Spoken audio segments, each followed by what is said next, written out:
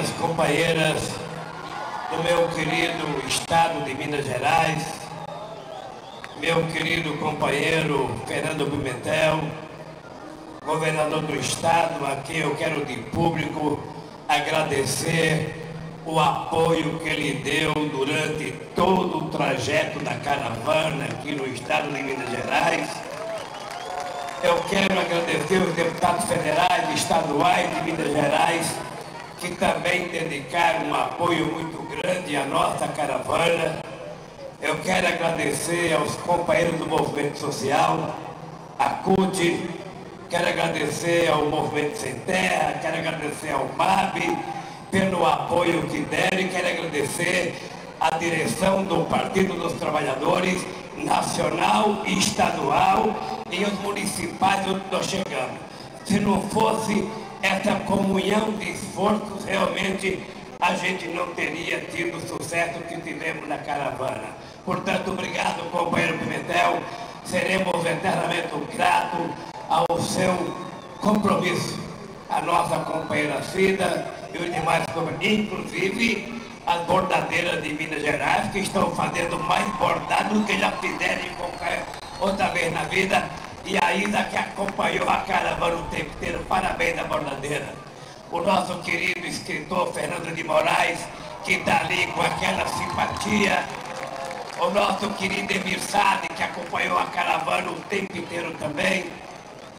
Mas não tem jeito a gente tem que fazer discurso. Eu gostaria que a gente pudesse juntar tanta gente assim, apenas para cantar, para dançar, e o discurso ficar para outro dia.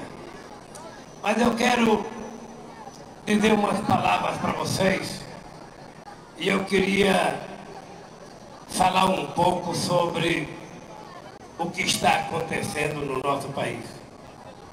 E eu queria chamar a atenção de vocês para um grave problema que não é novo no Brasil.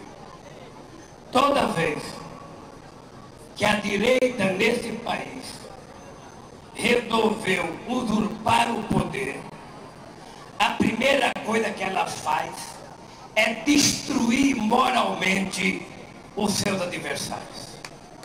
Foi assim com Getúlio Vargas.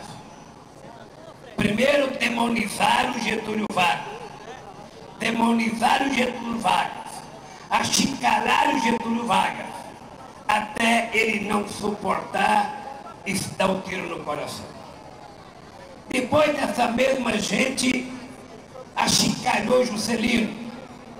Até hoje não provaram o famoso apartamento milionário que ele dizia que o Juscelino tinha na Vieira Solto, no Rio de Janeiro. E esse homem morreu de forma humilde e até hoje muitos de nós têm suspeita se ele morreu mesmo ou se mataram ele na Via Dutra, indo do Rio para São Paulo, de São Paulo para Rio. Depois essa gente não deixou o João Goulart tomar posse ele tinha o direito de tomar posse porque o Gênio Quadro renunciou. Inventaram um parlamentarismo para permitir que ele pudesse voltar para o Brasil. E depois, nós sabemos o resultado do nosso ex-presidente João Goulart, que teve que sair do Brasil. Então, eu queria dizer para vocês, que eu sou mais paciente do que o Getúlio.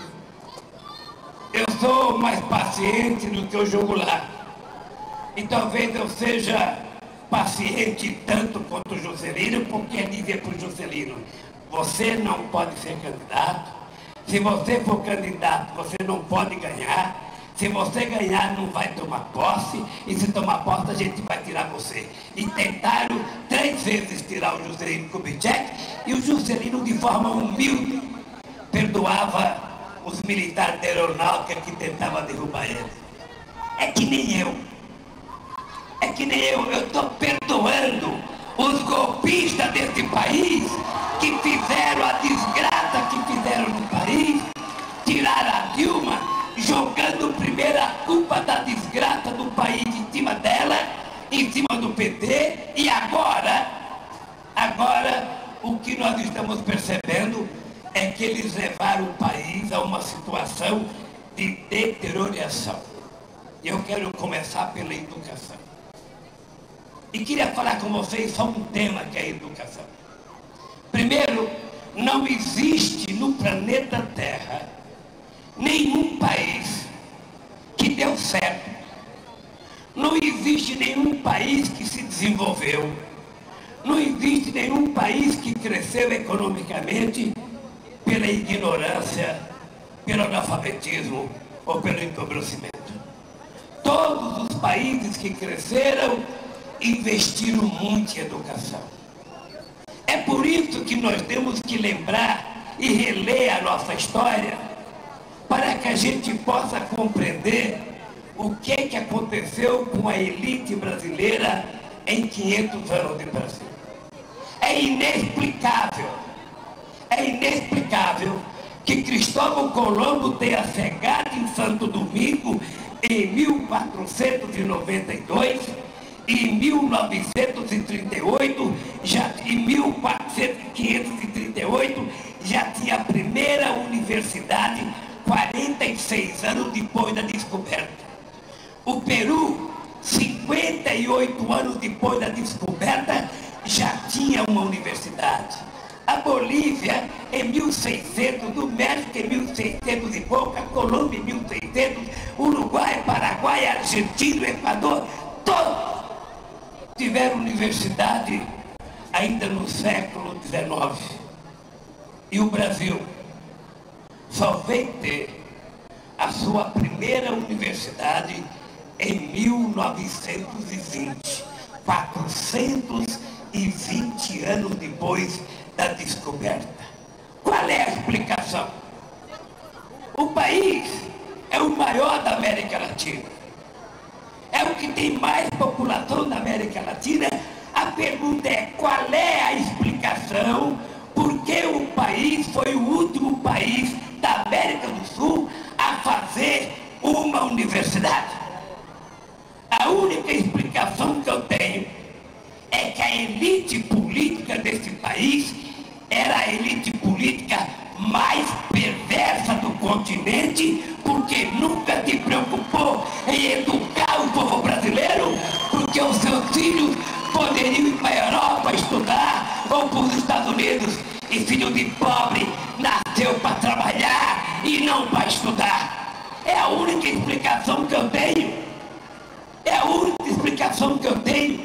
A elite brasileira era tão perversa que na época da borracha, no começo do século XIX, no começo da borracha, mil, 1890, 1912, até 1912, eles mandavam lavar a roupa dos donos dos seringais na França.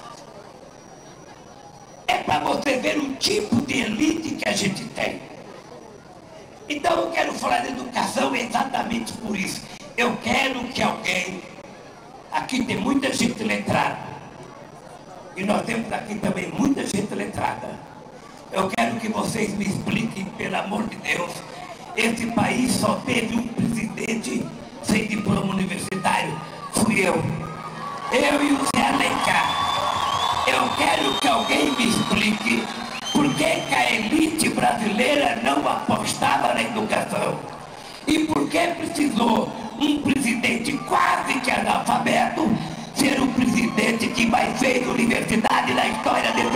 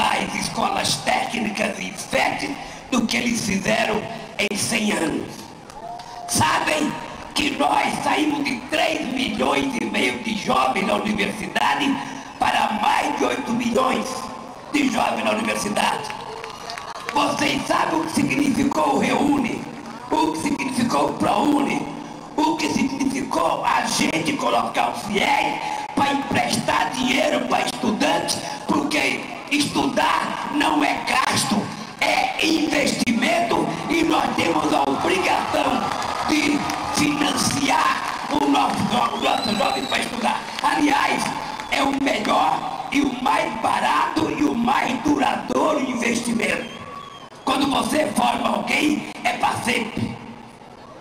O cara que se forma não vai à falência. A educação não desaparece. E o Brasil vai ficar mais competitivo. O Brasil vai melhorar a sua produtividade. Vai melhorar, sabe, a sua competitividade em produtos sofisticados, manufaturados. O Brasil vai poder deixar de ser apenas exportador de minério de ferro, de soja, e vai virar exportador de conhecimento. Tem gente tem gente que acha que uma universidade não tem importância. Tem gente que precisaria uma fábrica de cimento. E eu quero dizer, levar uma universidade para o interior é levar uma fábrica de inteligência, uma fábrica de conhecimento para o interior. E é por isso que eu tenho orgulho do que nós fizemos em Minas Gerais. Se vocês não têm noção, você está visitar Teófilo Otoni ver a Universidade Federal. Está visitar, sabe a cidade que nós passamos para ver os IFEP funcionando, para vocês perceberem que é um investimento que eu não me arrependo de ter feito e acho que quem presidir esse país só vai garantir o futuro desse país se investir na educação. E é por isso que vocês têm que levantar a cabeça para saber o que está acontecendo no Brasil. Quando eles fizeram a medida provisória, ou melhor, quando eles fizeram a PEC, proibindo o gasto em saúde e educação, quando eles resolveram privatizar parte da Petrobras, quando eles resolveram acabar com a indústria de óleo e gás, eles, na verdade, praticaram um aborto no futuro desse país. Eles tiraram e vão tirar os 75% do royalties que nós tínhamos destinado do pré-sal para a educação. Nós queríamos tirar o atraso do século XX e fazer com que o século XXI fosse o século do futuro nesse país. Eles mataram tem menos estudantes no ProUni, tem bem menos estudantes no FIES, tem bem menos estudantes tendo vontade de estudar porque não tem condições. E nós temos que levantar a cabeça, porque o problema não é que eles estão prejudicando as pessoas da minha idade, eles estão prejudicando a possibilidade do meu neto, do meu bisneto, do neto de vocês, dos bisnetos de vocês e dos filhos de vocês ter a chance que vocês tiveram no governo do PT de 2003 a 2016. E a educação não é tarefa de um partido defender. A educação não é tarefa da Bia, presidente da CUT, defender. A educação é uma tarefa da sociedade levantar a cabeça. Aqueles que já tiveram oportunidade de ir para a universidade, aqueles que já foram, que já se formaram, que são professores aqueles que estão estudando, precisam levantar a cabeça para que esse país não sofra no século XXI o mesmo atraso que ele sofreu no século XX. Ainda hoje eu vi uma notícia, ainda hoje eu vi uma notícia de que o dinheiro para ciência e tecnologia é quase zero. E um país que não colocar dinheiro em ciência e tecnologia. Um país que não colocar dinheiro em pesquisa não será nunca um país, será um amontoado de gente sem perspectiva de futuro e sem perspectiva de competir num mundo cada vez mais competitivo. Eu fico pensando, porque sou eu que tenho que tocar nesse assunto. É porque esse é um assunto muito delicado Esse é um assunto muito delicado.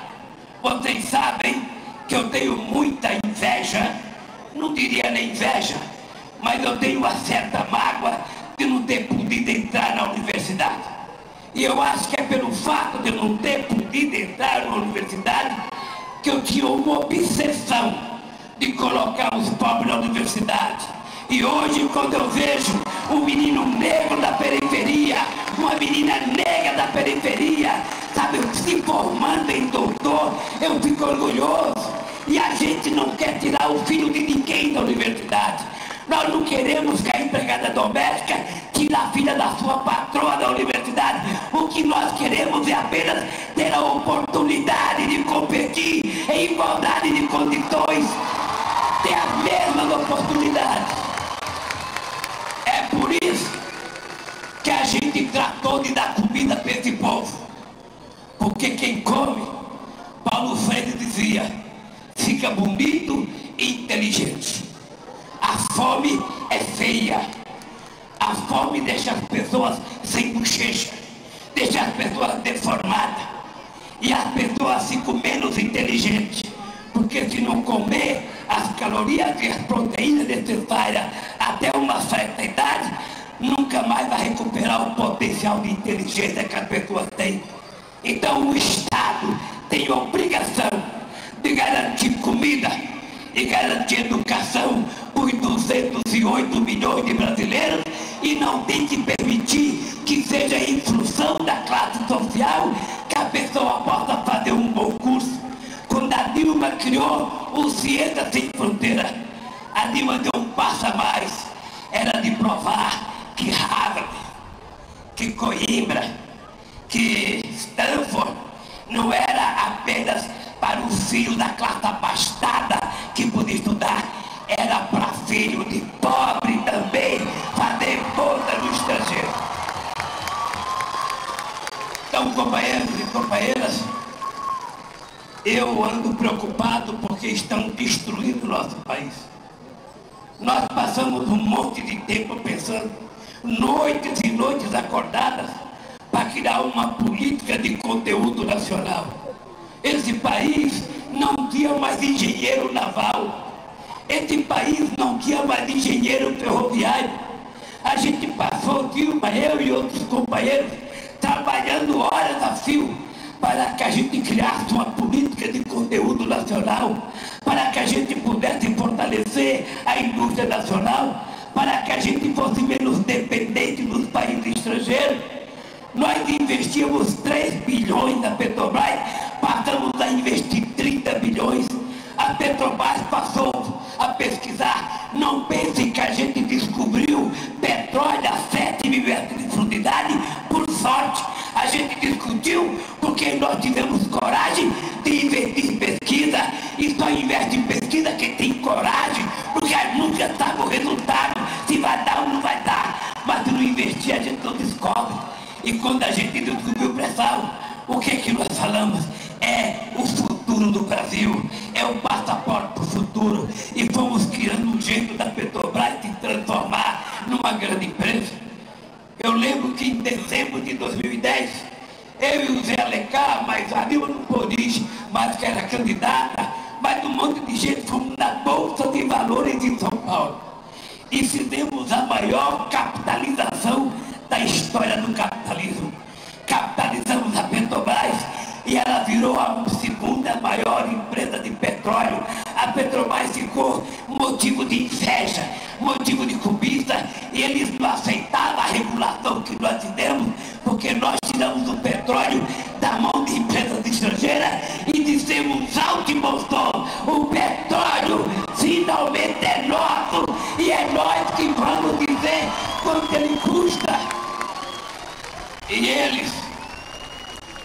é por isso que eu acho que o golpe está o golpe tá ligado a isso. Eles precisavam tirar o PT do governo para poder destruir o que nós fizemos na Petrobras. A gente estava produzindo navio, plataforma, estava produzindo sonda, e eles inventaram essa história da corrupção na Petrobras, que eu acho que também vem de fora. Olha, se tem corrupção na Petrobras, se tem corrupção que uma empresa fez, você prende o dono da empresa, você não acaba com a empresa, você não destrói a empresa, porque com a destruição da empresa, quem paga é o Brasil e quem paga é o trabalhador, que não tem nada a ver com a corrupção nesse país. E eu, companheiros e companheiras, embora comecei falando aqui que tinha paciência, eu, na verdade, quero dizer para vocês, eu sou um homem que eu não sei quanto tempo de vida eu tenho pela frente. Eu, eu para me animar, não é para animar vocês não, para me animar, eu agora comecei a dizer, eu faço ginástica todo dia, duas horas. Eu.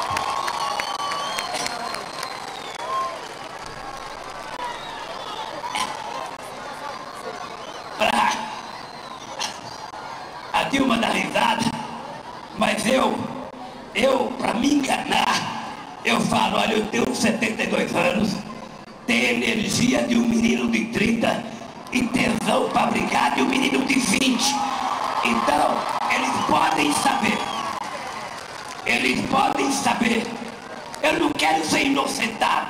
Eu quero que eles peçam desculpa para mim. Eu quero que eles peçam desculpa. Quero que eles peçam desculpa ao povo brasileiro. Eu quero que eles digam o que, que eles encontraram na minha casa quando eles invadiram a minha casa. Levantaram o meu colchão, abriram fogão, televisão, achando que tinha ouro, dólar, ou quem sabe cocaína. Cocaína estava no helicóptero que eles pegaram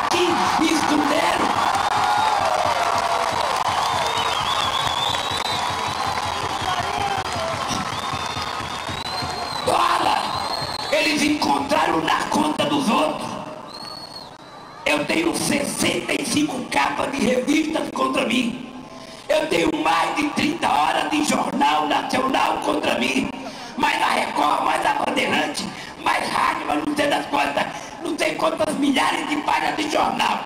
Eles até agora já quebraram meu sigilo bancário, já quebraram meu sigilo telefônico, já invadiram a casa dos meus filhos, já invadiram a minha casa.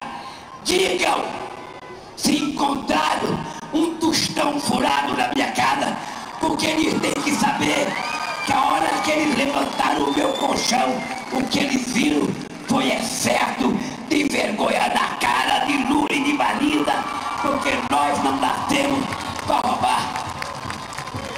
Então eu quero é que eles peçam desculpa. Eu não posso aceitar a Polícia Federal da Lava Jato subordinada à Rede Globo de televisão. Eu não posso aguentar o Ministério Público da Lava Jato subordinado à Rede Globo de televisão. Eu não posso aguentar. É um juiz que sabe que a denúncia da Polícia Federal é mentirosa, que a denúncia do Ministério mentirosa, ele aceita as denúncias. Aquela mentira, aquela disfarçatez daquele PowerPoint dizendo que o PT é uma organização criminosa que foi organizado para roubar o país. Eu quero dizer para vocês, naquele PowerPoint da Bia, eu sei qual é o ódio que eles têm de mim. Eu sei. Eu sei qual é o ódio.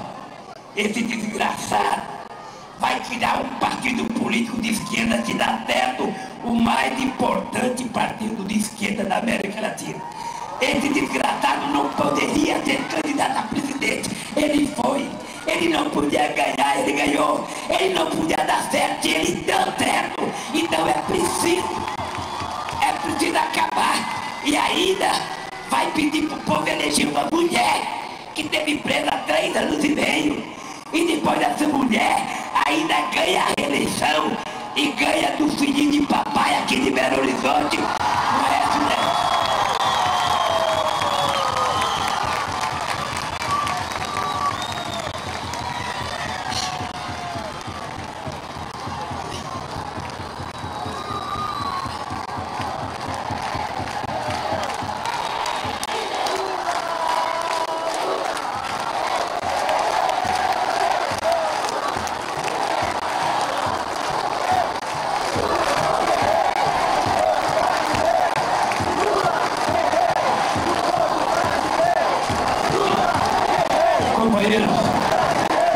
companheiras, eu se tivesse juízo, eu se tivesse juízo, eu nem pensaria em ser candidato outra vez.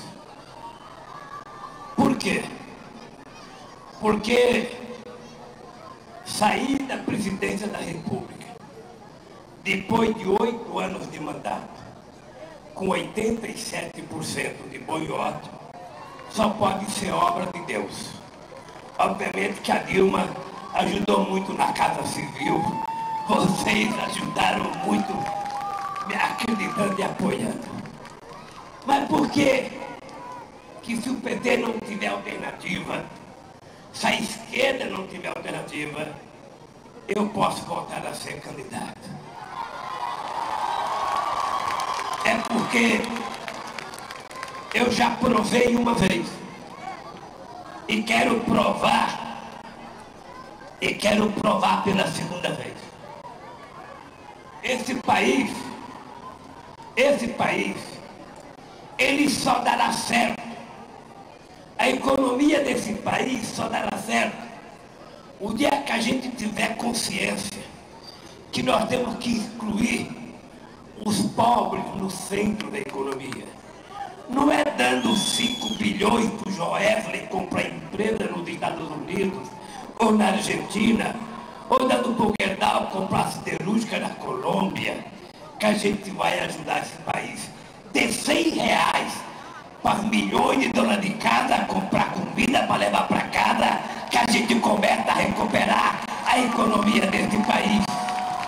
Aumenta o salário mínimo, aumenta o salário mínimo, gera emprego, formaliza a micro e pequena empresa nesse país, invista na educação, que a gente vai resolver o problema da economia desse país.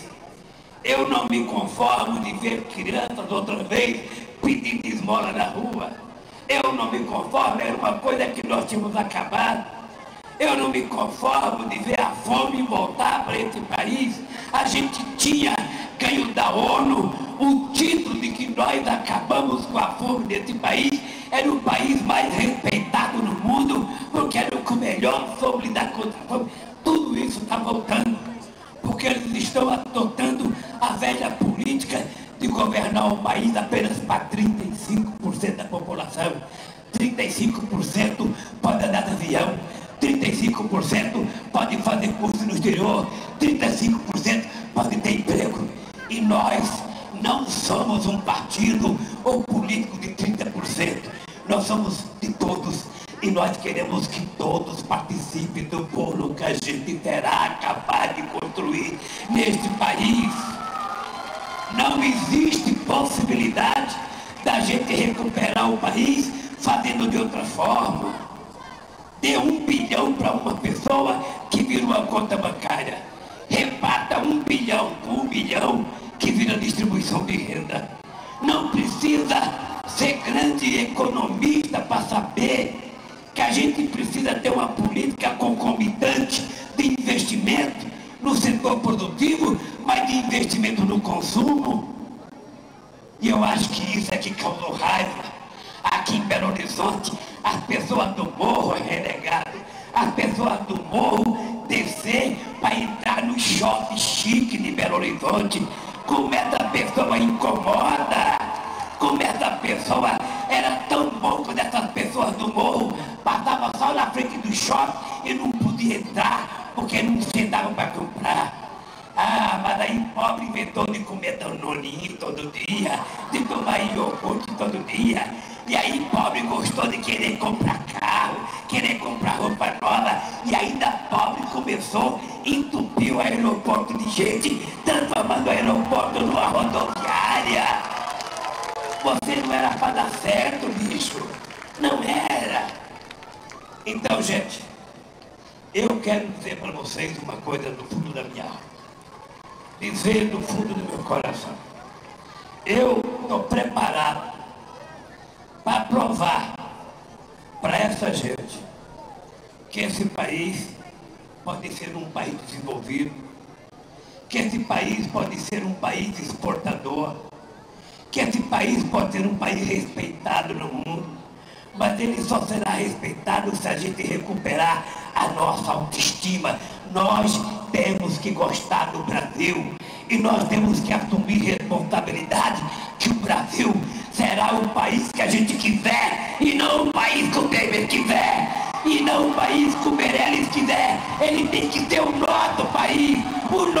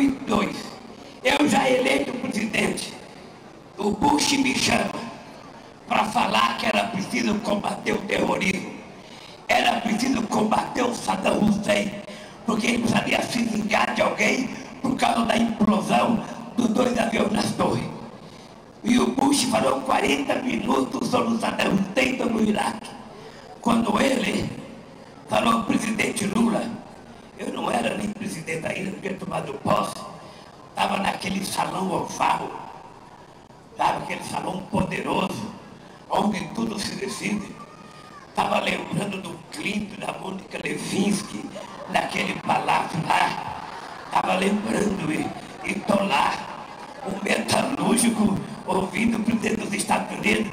Ele falou, Lula, nós temos, nós temos que acabar com o terrorismo, nós temos que fazer uma guerra contra o Iraque. Eu falei, presidente, deixa eu dizer uma coisa. Eu estou chegando agora conheço o Iraque. O Iraque fica a 14 mil quilômetros do Brasil, filho. Eu não tenho nada contra o Saddam Hussein, eu não conheço ele, ele nunca me fez nada. O Bush, a minha guerra não é contra o Iraque, a minha guerra é contra a fome no meu país, que está matando milhões e milhões de pessoas. A Dilma teve a coragem de uma ida aos Estados Unidos, convidada pelo Obama, e depois ela descobre que o nosso amigo Obama estava permitindo que os americanos ficassem investigando o Brasil, fazendo espionagem no Brasil. E ela teve a coragem de dizer, eu não vou. Vocês acham que a elite brasileira dizia que não iria? Somente uma mulher dessa qualidade é que teve a coragem de dizer, eu não vou.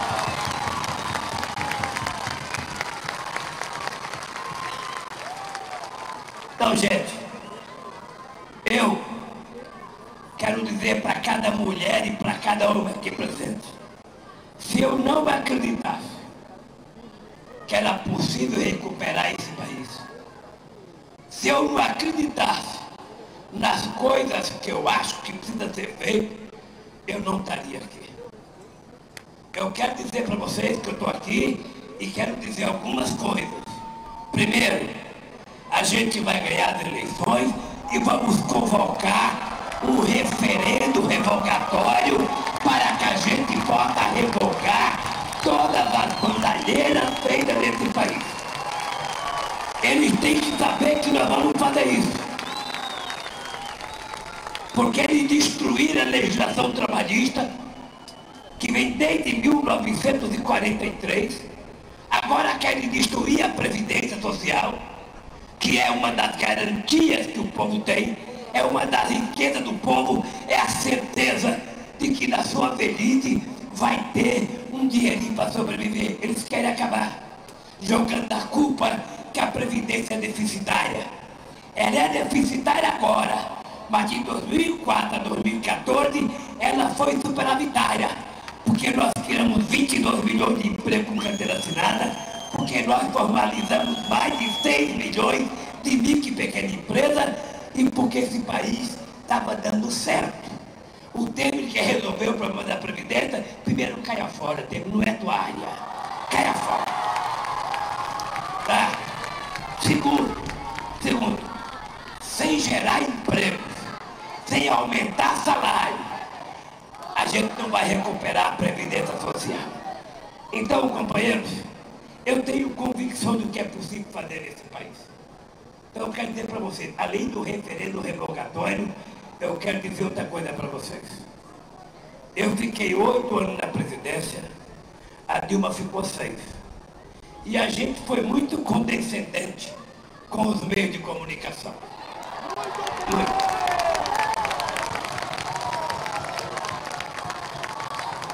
Eu,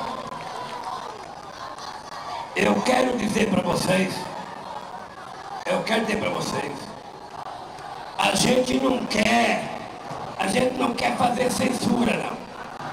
Censura quem faz é o telespectador, é o ouvinte, é o leitor. O que eu quero é democratizar. O que eu quero é que a verba que o governo tenha para a comunicação seja distribuído de forma mais justa, que as pequenas rádios do interior tenham acesso, que os pequenos jornais do interior tenham acesso, que as universidades tenham acesso, que os sindicatos tenham acesso, porque a gente não pode continuar permitindo que apenas nove famílias comandem a comunicação nesse país de forma ideológica e inventando mentiras.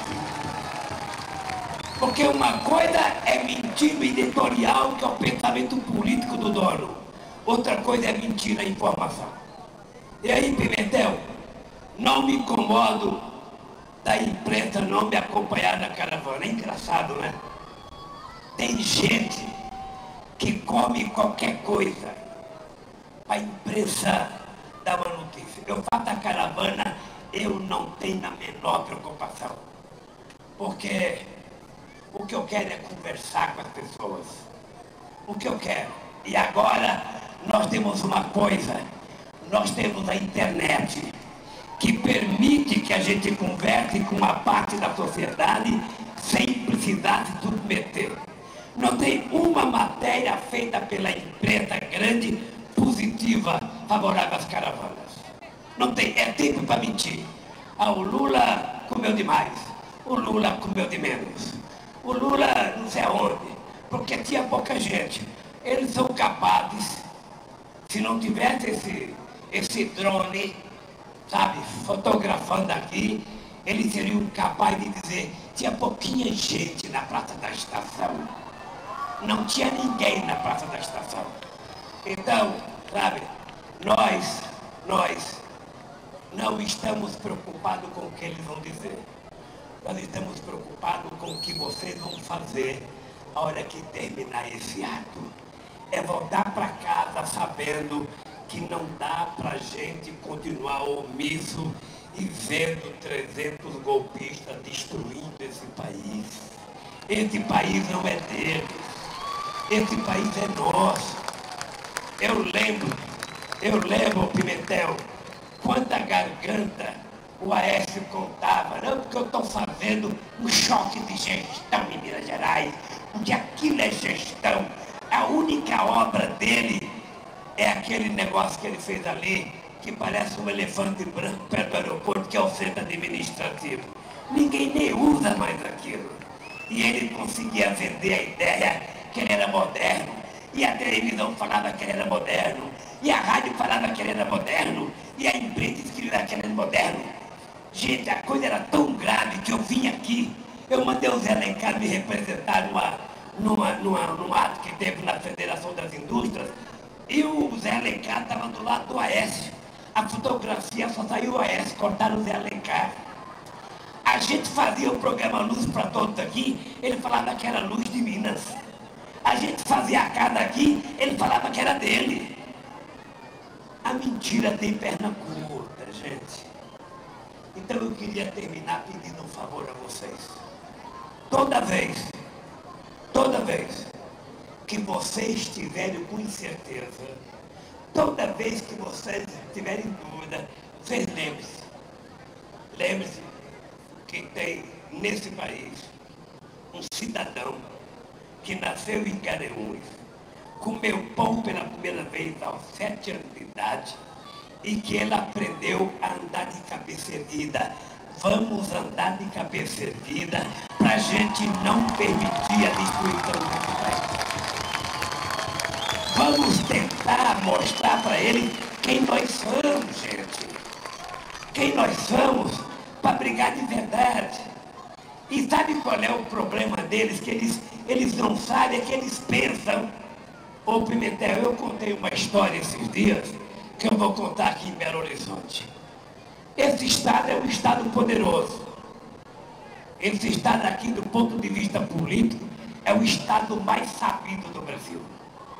Mineiro na política é coisa séria.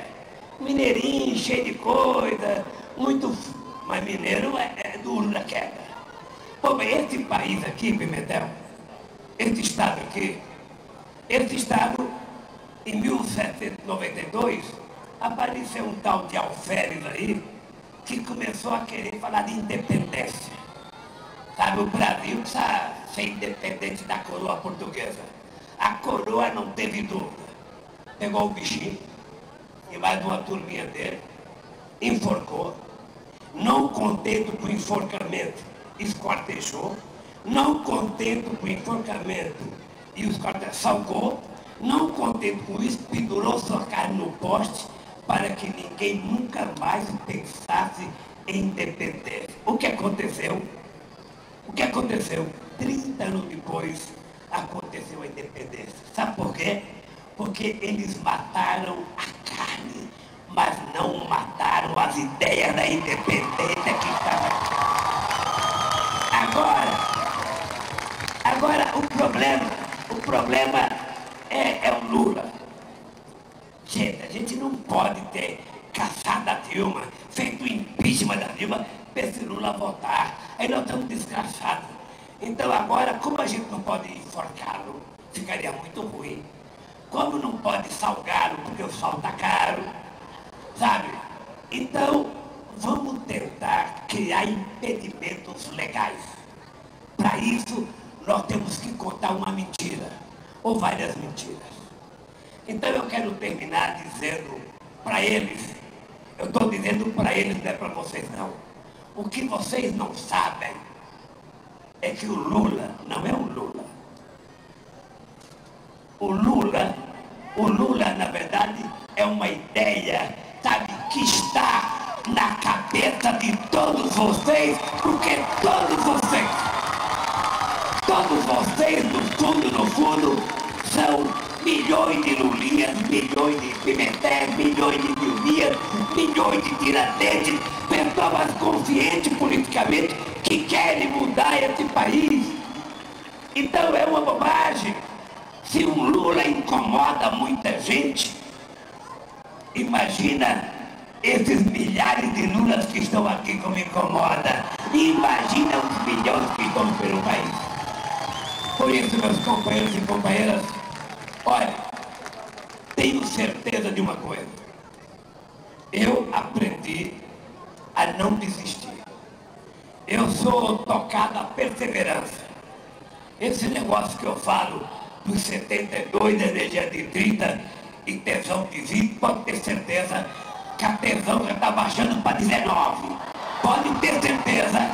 E é com essa força que nós vamos virar o jogo e vamos trazer a democracia de volta para esse país e vamos fazer com que o povo pobre desse país, a classe média e os pequenos empresários voltem a acreditar nesse país.